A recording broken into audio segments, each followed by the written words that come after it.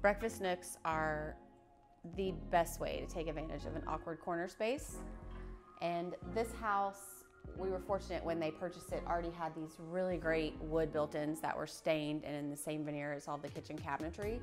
So we took full advantage of that and loaded it up with plenty of seating and a really great modern tulip table and fun mustard chairs and of course pillows because you've got to have pillows. And of course every great little corner eating spot needs to have an amazing light fixture.